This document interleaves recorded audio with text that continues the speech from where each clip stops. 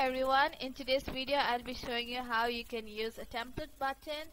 So let's get started. So template button is basically a button where when you click each time it generates a certain information that you want to store for each month.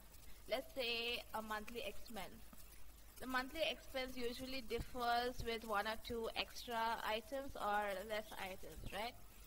So it's something like that and while we do this a small mini uh, project um, you'll understand what I mean.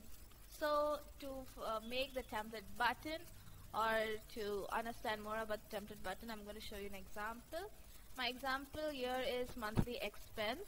It's the easiest and simplest example because you need to understand the example then later on you can have your own information uh, in the tabular column. So yeah, so the first thing that I'm going to do is use the prompt command. So slash and I'm going to search for table. You can use literally any table but I'm going to go for the first one because it's like straight and simple. Okay, so now I'm just going to rename it as monthly expense so you can fill in here whatever you want depending on um, your information or data. I'm just gonna write in gross. And water bill close alright. So for monthly expense definitely the cost. So it comes on a number and just change it to cost alright. And you can even change this as a sum so that you can get the total of how much you spent at the end of the month. So this is the first step of a template button that is you need a tabular column or a table uh, that you can select from Notion. And you can it doesn't have to be a tabular column it can be literally anything. Uh, so yeah this is just an example.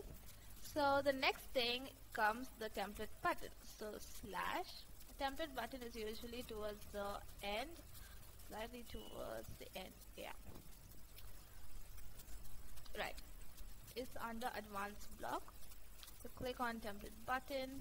I'm just going to change this um, add a new to do to add a new monthly expense. So that makes sense you know. So now I'm just gonna delete this backspace and it's gone so now what I'm going to do is drag this. When you hover over it it's like these six dots come up and then you just click and then drag it in um, in this block. Right you'll have the space but just you know a backspace and it goes away. That's pretty much it. All you have to do is close and you have your button. This is the button. And uh, whatever name you give in here that is what comes up here. So once you click on that it takes few seconds to load but give some time. And ta-da. Yeah there we have it. And another thing that I really like doing this is my personal uh, favorite but just uh, a toggle list. And then you just change the color. Let's say blue just drag and drop it in.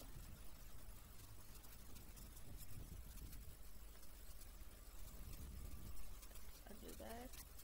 And then turn it into text. So that's pretty much it. I hope you learned something from this video. And yeah and another thing is this can be totally uh, be edited. If you want to change anything it can be edited over here and if you want to add a new thing that needs to be again uh, generated each month or according to your uh, need you just click on this configure template. And the entire template button uh, comes up here.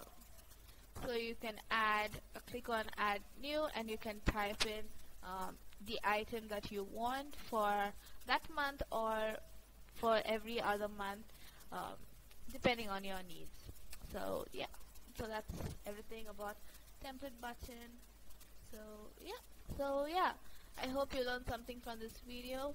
Thank you for watching.